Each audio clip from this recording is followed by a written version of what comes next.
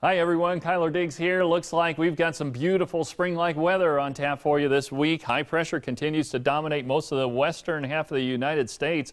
That's going to keep most of us dry. We could see just a couple of thunder showers popping up along the New Mexico border uh, this afternoon, then on into Tuesday and Wednesday. Highs back into the 80s. We dry out a little bit, introduce some more moisture into the forecast Thursday and Friday. Another chance of showers and thunderstorms there, mainly east of Tucson. And then this weekend, highs in the 80s. Enjoy the spring-like weather.